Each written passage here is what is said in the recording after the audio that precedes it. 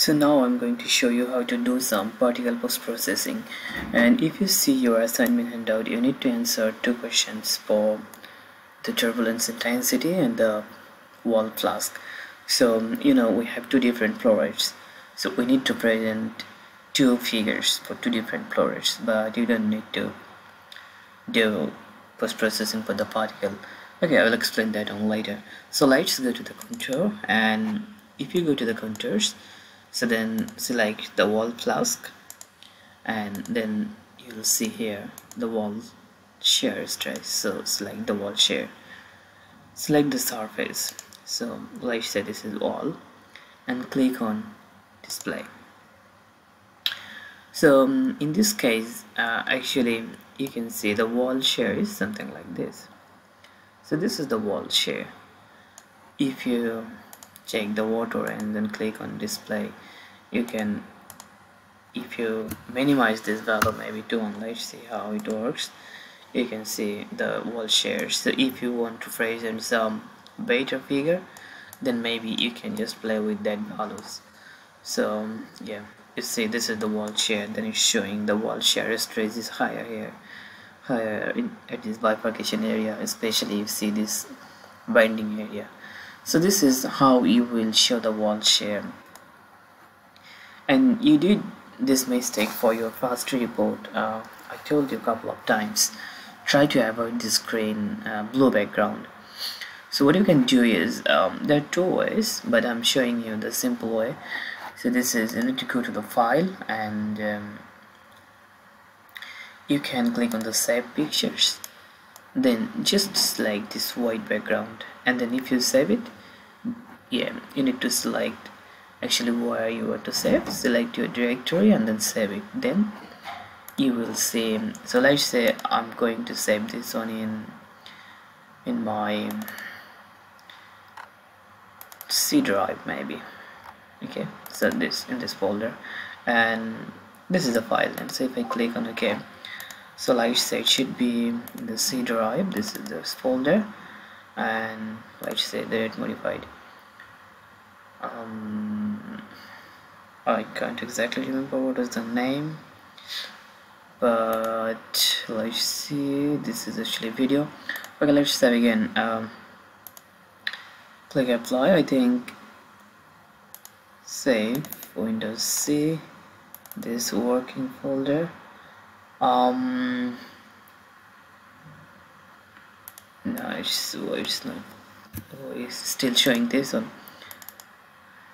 so the C the working folder.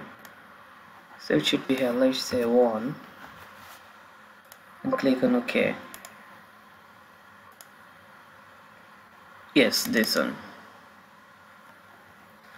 So you see um, this is the wall shear stress so definitely um, you can see some gap between this legend and this figure.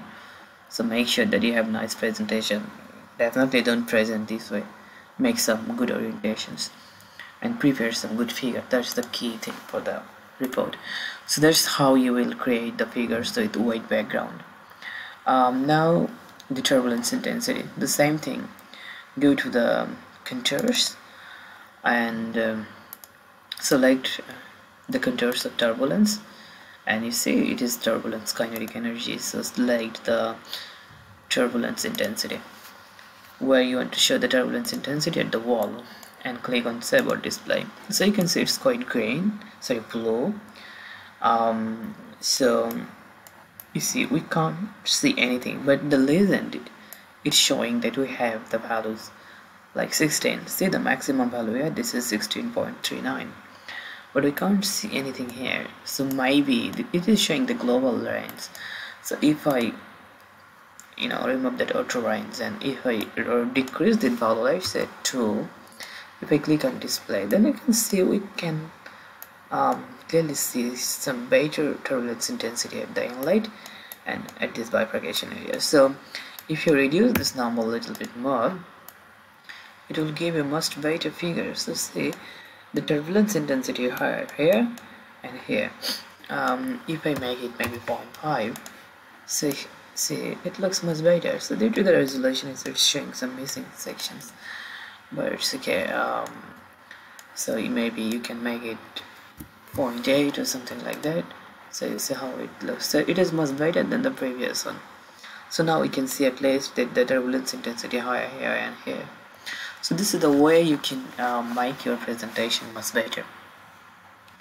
Now say um, how to show the the separation. Some of you asked me which one is inlet which one is outlet anyways um, so this is you see um, your domain. We have one branch a single branch. This is the inlet and the other one you can see the two outlet two you know bifurcations.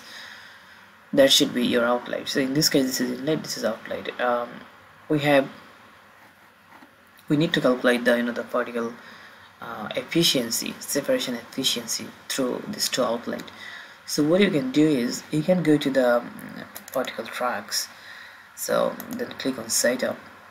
Then you will get this. Select this injection. Click on this summary and save a display. Then it will show you this history here. So look um, it says escaped through zone 6 yeah so this is escaped through zone 6 is 405 particle through zone 7 418 particle. Now the thing is um, let me display the domain. So we don't know who is on it zone 6 and zone 7 so what you can do you can go to your boundary conditions. And we have our this outlet. So if I click on this outlet on you can see this is zone 6 outlet 2 this is zone 7 so now we can identify okay this 405 particle goes through the outlet 1 and 418 it is goes through the outlet 2 um, so among this you see 800 so 405 418 so 823 so among this 823 particle 405 goes through outlet 1 so we'll calculate the percentage so that's the efficiency the separation efficiency through outlet 1 and outlet 2 so you need to use that valve for your assignment and just follow the handout read the question carefully. If it says okay plot then you definitely need to plot. The table is not enough that you should keep in mind. So that's how you will calculate the uh, the deposition efficiency. That means sorry the separation efficiency. So I showed how to do how to show the wall shear how to show the turbulence intensity and I believe you guys know rest of the thing like how to calculate the axial velocity profiles and uh, the other thing. And yes for the axial velocity profile definitely you need to make some comparisons. So what you can do for the axial velocity profile you can draw a line at this the inlet section and two outlet sections. And then you can draw five three different axial velocity profiles and compare what is happening for two different flow rates so if you attended the class then you already know I showed you. Anyway so that's all actually I wanted to show you today. Um, if you get any question definitely you can attend the consultation on Friday and you can ask me. Uh, I'll be happy to help you thanks for watching